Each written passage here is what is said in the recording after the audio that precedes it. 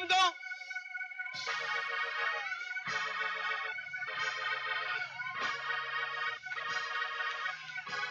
To step into my moment.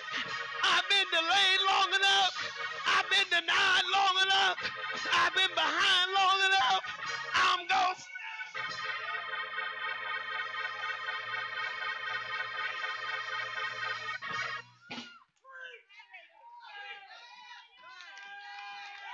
To step. Anybody else to step into your moment? Anybody else know God is not through with me yet? He still has a plan. He still has a purpose. I've still got destiny. I'm to step.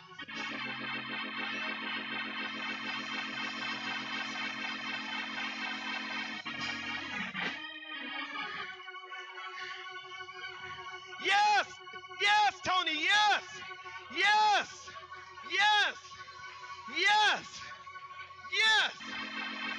Every step she takes, y'all, is a step of victory. Because the doctor said she shouldn't be walking, she shouldn't be talking, she should be laid up somewhere in a nursing home, not knowing what day it is. But Tony said, the God I serve, He's able. Anybody know He's able? Anybody know He's able? Anybody know He's able?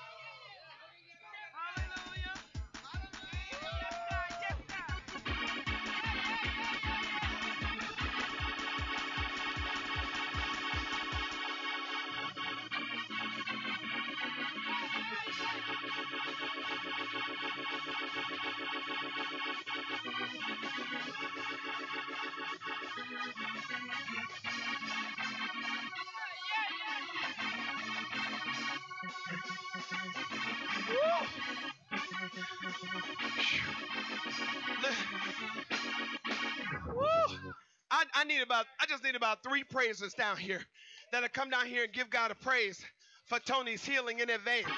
Come on. I just need about three of y'all. Come on.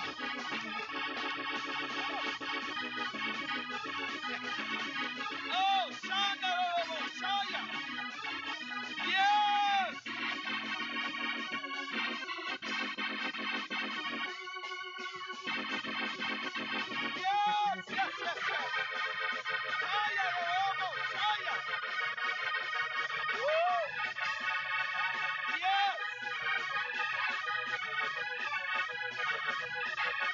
Mama, mama.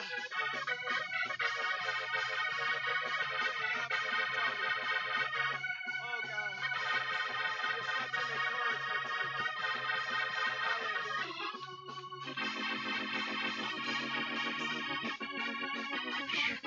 Hallelujah. Ay, ay, ay, ay, vamos. Ay, ay, ay, vamos. Ay, ay, ay, ay, ay, vamos. Woo.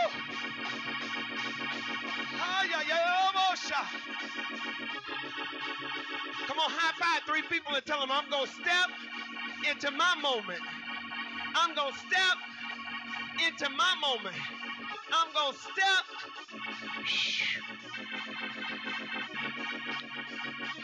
I'm going to step.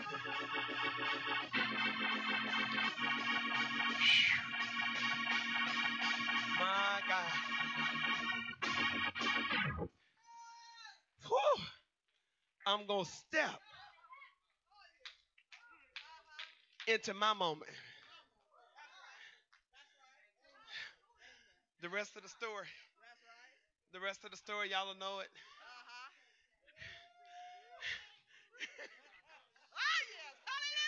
Thank you, Jesus. Uh-huh. Esther went into that court. She said, Listen here, King. Haman has laid a plot to kill all the Jews. And that ain't right. And because she had favor with the king. Y'all read the story when you get home. I challenge you to read the book of Esther today, this week. She went into that court, talked to that king. Not only did the king spare all of the Jews, but that trap that Haman had called himself. Haman, Haman got hung by the very trap he set.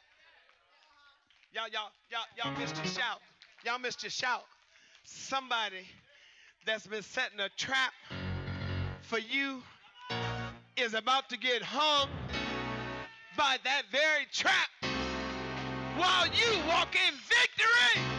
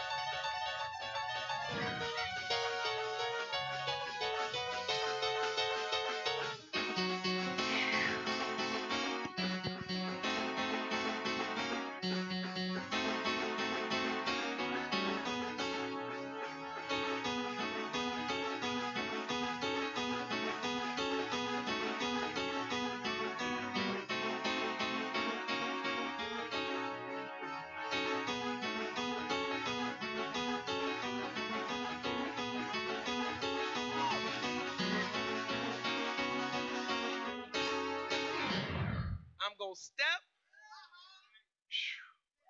into my moment. One woman.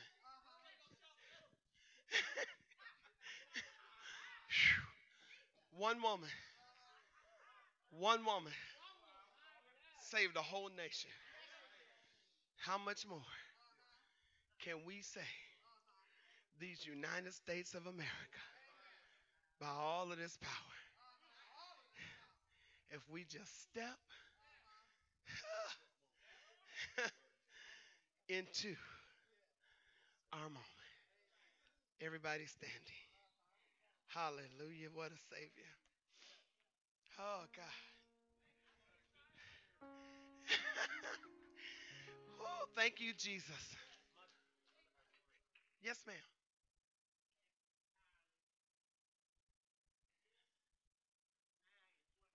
All right. Enlarge as my mouth is, I don't. You don't need the mic? All right. Yes, ma'am. It's funny how your sermon coincide with what I was asked to do.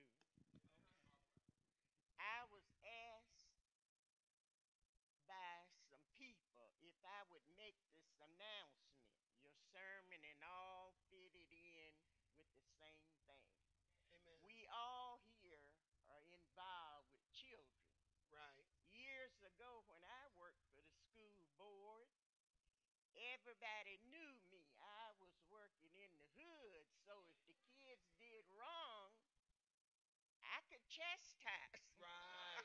Right. But it's different nowadays. Right. So I was asked if everybody that's involved with children in any kind of way would talk to their children yes. about their conduct yes. riding the buses about them buses. Amen. You would not believe I have been brought reports of what the kids say in these letters and things. Mhm. And you would swear it is coming from me. But it's coming from kids that's in first, second grade. Wow. You would not believe it. there during on the school bus. Mm-hmm. And the is making a curtain around them to protect them. Wow. So please talk to your children. Amen.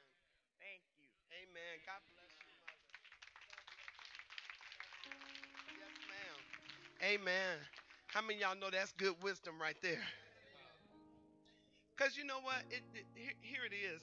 We can get as mad as we want to at the police. We can try to turn this into some racial something or other.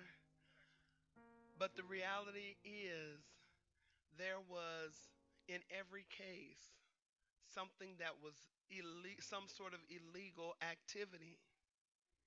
Don't get quiet on me now. Now, I'm not saying anybody deserve to die. I'm not saying that at all.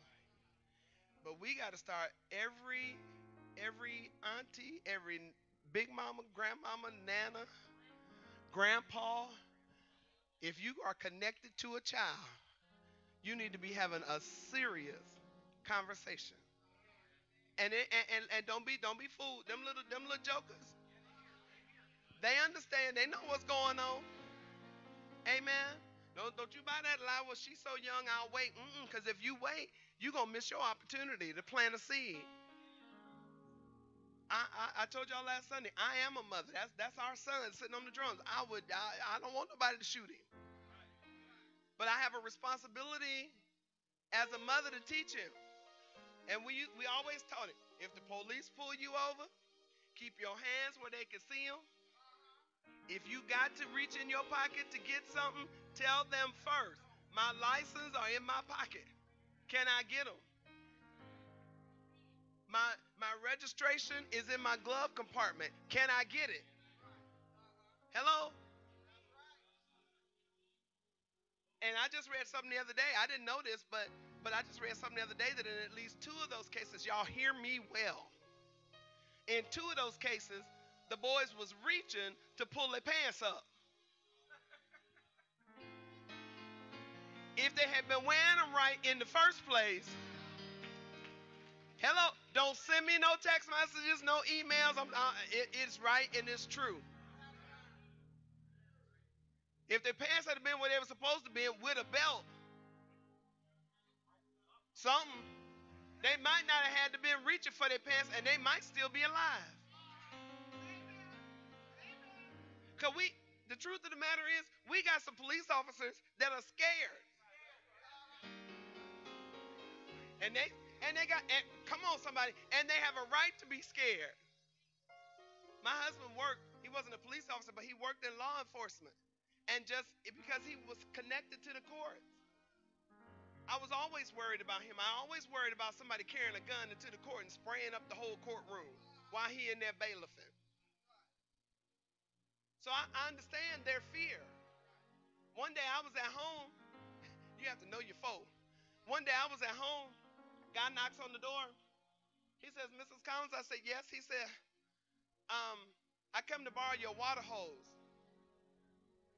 He said, Your husband said I could borrow the water hose because I'm ready to start a car wash business. Well, I knew my husband. I knew he hadn't told nobody they could borrow nothing.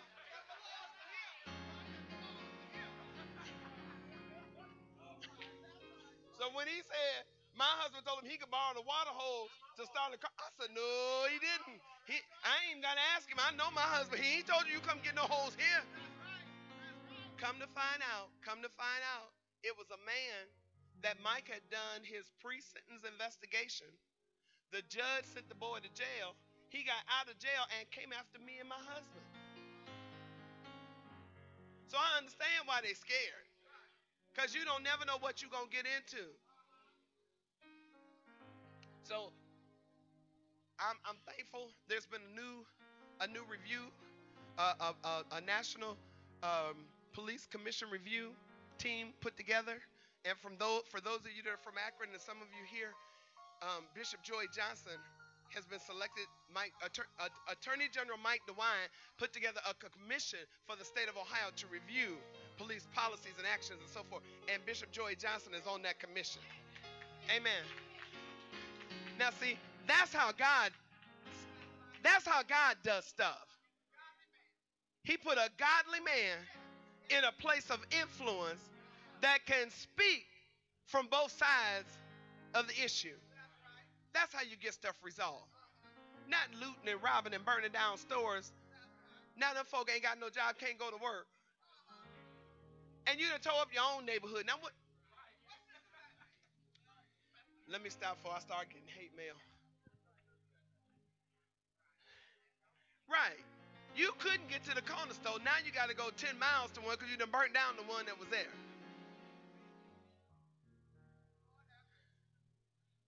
God, listen, let me say this God is still in control. I shared with you all last week. I had a person talking about, well, shouting and running and going to church don't seem to be helping. I'm like, you must be some kind of crazy. I'm going to shout the more. I'm going to pray the more. Because our God is God. And He's still in control. Do y'all receive that? Do y'all believe that God is in control over all of our lives? I said this in Bible study, and I'm closing. The only color God is interested in is red. The color of his son's blood. That's the only color that mattered to him. If you covered in that, the rest of it is gravy. Amen. So mothers, grandmamas, Teach your kids, great grandmamas. Let's let's let's teach our kids. Let's teach them a more excellent way. Amen. I, I, I have a grandson that uh, know how to use words. he know how to use them compound cuss words at six. But it's up to me to teach him. It's up to his parents to teach him a more excellent way. Somebody say a more excellent way. Can we heed what mother said? Can we teach our kids to get on the bus and sit down and behave? And respect. See, we got to get back to uh, we got to get back to something mother said. Cause see, I grew up under that era she was talking about. I grew up under that era that if Miss Susie saw you cutting up, she could whoop you. And then when you got home, you got another whoop because Miss Susie had to whoop you. Y'all ain't saying nothing up in here. Somewhere along the line, we got real crazy, and now we don't want nobody to say nothing to our kids. Newsflash, you ain't raising no angels.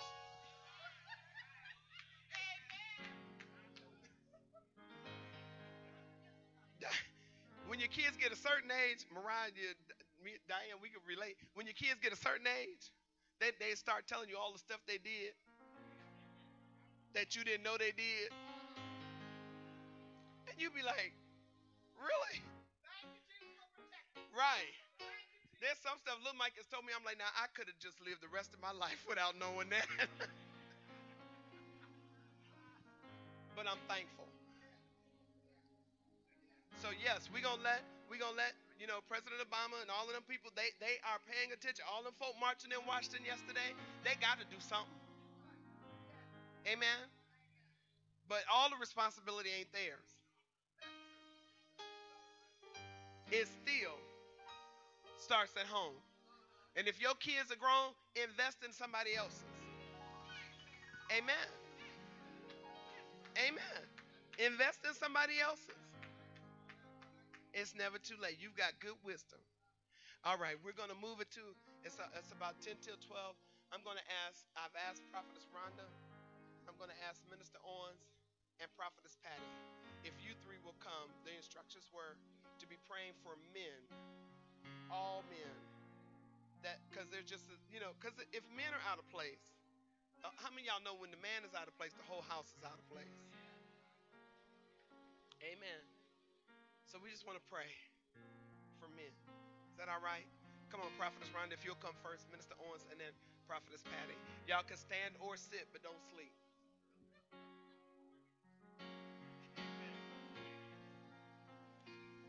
Father, we're so grateful for your word today. And we're so grateful, God, that we live in a nation where we can freely stand and pray. And because we have this weapon, oh God, we will use it to affect kingdom order in the earth realm, oh God. Now you set and you predestined and you preordained. Everything was already set into motion long ago before any of us, man, woman, or child, ever came to the earth. And God, you said in your divine order that man was the head of the household, oh God. That's your divine order. That's kingdom principle for the men of our nation, oh God. You've proven yourself faithful during the times, according to your word, oh God, when fathers weren't fathers to us. And you said in your word, God, that you would be a father to the fatherless. And in the areas where fathers have forsaken their children, oh God, you have taken them up. I'm living proof that you're father to the fatherless. And I thank you for who you are as the man and head of my life. But because your divine order says it's to be done a more excellent way, because your divine order says, God, that our men should be praying over our children, that they should be leading the household, that they should be treating their women and loving them as Christ loves the church, oh God. You set it in order. These are not our rules. And we know and we understand the season and the time that we're in, God, that it's perilous times, that things have changed, and because we've forsaken you and because we've turned our backs on you, oh God, certain things are transpiring. But as children of God, we also know and understand that your word is true, and that if we do it your way, and if we do it as you've instructed us, oh God, then things can be different in the lives of your people, in the life of a believer. I do not have to adapt to the DNA of natural man, oh God. And the men of this nation need to take their place in their kingship from the kingdom of heaven, oh God, and stop looking to the natural ways of provision and turn back to their God. You said, oh God, the heart of the king is in your hand. You can move it, you can turn it any way you desire. And so I call for you, oh God, to massage with your hand the hearts and the minds of the men of this nation, oh God.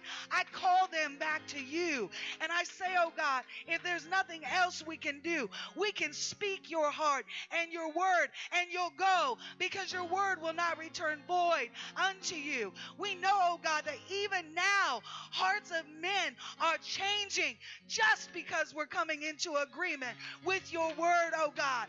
We know, oh God, wherever they are, that you can go and deal with them and you can change their heart no matter what their daddy did, no matter what the men they've seen have done, no matter what they've witnessed, oh God.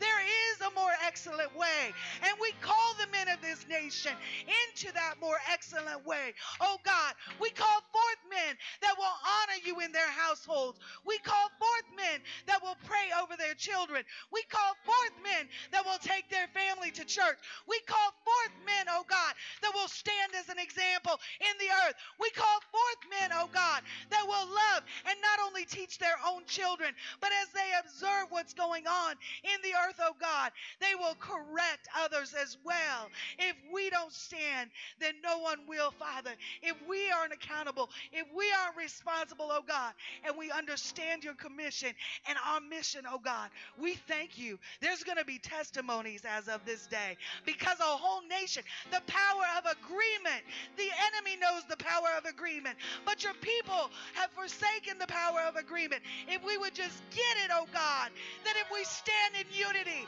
if unity works for evil, then unity works for good, oh God. And I call your men into unity, oh God. Men that will encourage one another, men that will be there for one another, men that will speak in one another's ear. Anoint their eyes, oh God. If it's fixed on you, they can't see another, oh God. If their hearts are fixed on you, they won't wander to another, oh God. Strengthen their walk with you. Bring them, I call the men of this nation, into true relationship with the living God. In Jesus' name, it shall be so. I decree and declare, according to your word and your spirit, according to your word and your spirit, oh God, we believe and trust you.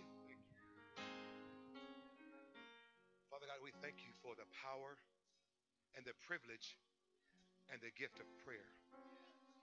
God, we thank you that your word tells us if my people which are called by my name would humble themselves and pray and seek your face and turn from their wicked ways. In turn, you would hear from heaven. You would forgive of our sins and that you would heal the land. Father God, the land needs healing and the land needs our men to do so. God, I thank you because we are considered an endangered species. If we look into our churches and we see that the men are more absent than present, God, you never meant for it to be this way. But if we look to where those men are, the majority of them are incarcerated, which is, again, not what you intended for them to be. But Father God, I'm praying right now that even in the name of Jesus, that those men that are incarcerated right now, that you begin to deal with their hearts and their minds, Father God, and allow them to know that even from the prison walls, they can be an impact on their children, on their nieces, on their nephews. All that time they have there, Lord God, that they can write a, a, a word of encouragement to them and let them know, Lord God, that, that prison is not the place for the men. Father God, we thank you because, see, it is a trick of the enemy. It has been a trick from a long time ago, even with Herod that wanted to kill up all the men. God, we are not naive to know that there are some Herods that are still around today that are trying to kill up the men, Father God, that are trying to take the men from their rightful place, that is being in your presence, Father God. We thank you right now, Father God, that we have a sense right now of urgency, God to take back what the enemy has tried to steal from us. God, we have a, a, spirit of urgency right now, Father God, to lift up the men right now in the name of Jesus, Father God. Those, Father God, even on the out right now, many men are struggling with addiction, Lord God, be it drug addiction, be it alcohol addiction, be it, be it, be it pornography, Lord God, be it whatever it is, Lord God, be it whatever it is, Father God, but nothing is too hard for you. God, we pray that you will put some people in their path, Lord God, that will speak a word of encouragement to them, Lord God, and let them know that you are the way, that you are the truth, and that you are the light, Lord God. God, we thank you for men today. We thank you for our lives today, Father God. God, we pray that you will just stir up the gift of God in them right now and let them know that it, it is not too late, Father God, for them to repent and come to you, Lord God, to repent and turn to you, Father God, that we call them in back in the name of Jesus today, God. Help them to know, Father God, that you are there, that you are ready, willing, and able to forgive us, Lord God, and put us right back where you called us to be in the first place. In our homes, Lord God, in the lives of our children, in the lives of our grandchildren, Lord God, in the lives of our community, oh God. We thank you, Father God. We thank you that you're raising up community and rec centers, Lord God, that men can be a vital part, Lord God, that we can we can speak a word to the children, Lord God, and, and let them know that you are the way, God. We bless you right now for this opportunity, even as churches are united all over this land and country, Lord God, for one purpose, Lord God, to know that you are God. And besides you, there is none other. Thank you, God, in Jesus' name. Father God, we lift our men up to you all across the nation, oh God. Father, we ask that you reach down and grab them, oh God. Reach down and grab them, Father. Father, a lot of our men, as we come to know them, they struggle themselves with fear, identity confusion, and not knowing what to do with their lives. Father, they chose the route of selling drugs, trying to get young girls to solicit for money. Father, I'm asking you, they've created a mindset that they can beat the system. Father, help them. Give them another glance of the guys in the penitentiary. Let them see the proof positive that they cannot beat the system. Father, even our young boys, five, six, seven, eight, nine, who are looking at these older boys and they see the money, they see the cars, they see the glamour. They see the girls. They see the clothes, the shoes. They see all of that. And th- they want it. And then some of the older ones are, are crazy enough to offer it to the younger ones. So, Father, we ask right now that you prick and penetrate the hearts of these men, oh God. Father, change them, Father. Have them to turn from their wicked ways. Father, show them you. Father, let the younger people be able to look at them and see you and not the hard life, oh God. Father, I talked earlier about that secret place. Father, I'm asking you, oh God. A lot of our men are fearful, they don't know which way to go. But Father, introduce them to that secret place. Father, show them how to cry out, to reach out. Father, even when they don't know the words, we know that you know what's on their heart. Father, in that moment, Father, swipe them up, oh God. Change their hearts, change their minds, and make them new creatures. Do it, oh God. Do it, oh God. We ask, Father, that even the men that are in prison, we ask that you continue to change their ways as they're in prison. Not have them in there having the same mindset, trying to do better what they did before they got there. Father, help them to be rehabilitated so that they may come out and rehabilitate others. Father, it doesn't have to come down to shootings and killings. They just need to know you. Father, and even in the homes where the young boys are, teenagers, Father, help the parents to be able to deal with these young boys. Father, give them what to say and how to say it. Father, teach the parents how to bring them into your house, introduce them to you, so that on occasions when they're introduced, the things are not like you, they'll have the strength within them to say, No, I'm not doing that. I'm not doing that. That's wrong. But Father, only you can do that. Oh, God. It's sad. It's a sad situation. But God, you're in control. And greater is He that is in you than He that is in the world. And so, Father, we all stand in agreement that this nation will change and that we are praying all across this nation for change. And we believe in our hearts. You said if two or three agree, but we have thousands. And we ask, Father, right now, Father, that this whole nation and society be changed from this second on. And we just say, Thank you, Father. Thank you, oh God. Thank you for change. Thank you for you. Thank you for waking up the eyes of your men to see you. Thank you for showing them that there's another way. Thank you for show, helping them to receive the new way. Father, I just say thank you. Thank you, God. Thank you, God. And it's in your name, Son Christ Jesus' name, that we pray it all. Amen. Amen. Amen.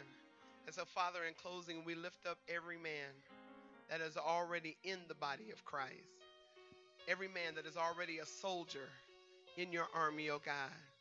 And I pray, oh God, that they not become weary in well doing, but that you will even today refresh and revive and strengthen your men, oh God. That even the more they're going to tell somebody about the love of Jesus Christ that even the more they're going to take on their rightful role as kings and priests. That even the more, Father, they're going to be the example in their households. Father, I pray for every pastor today that has come into agreement with this with this Solidarity Sunday. that, Father, as a result of this day, as a result of our prayers, as a, result, as a result of the preached word that's going across this nation, that this nation shall see change. We lift up the President of the United States, oh God. We pray for President Obama that you continue to give him wisdom, that you continue to give him knowledge, and that you encamp around him, Father, godly people that will give him good wisdom. Father, we just say thank you because we know, oh God, that our God is great. And so we do not have hung, hung down heads, but we are full of expectancy over what you are going to do. We say to you today, Father, use us as only you can, as instruments of change in this nation. In Jesus' name, amen. Amen. If you agree, come on, put your hands together. Amen. Amen. Amen. I guess I should open the doors of the church. Amen. So if there is one to our live stream audience, again, thank you for joining us each week. Give us a shout out. You can reach us at email kgfcmansfield at gmail.com or you can hit us on Facebook, Kingdom Grace Fellowship Church. Let us know if these services are being a blessing to you. The doors of the church are open at this time.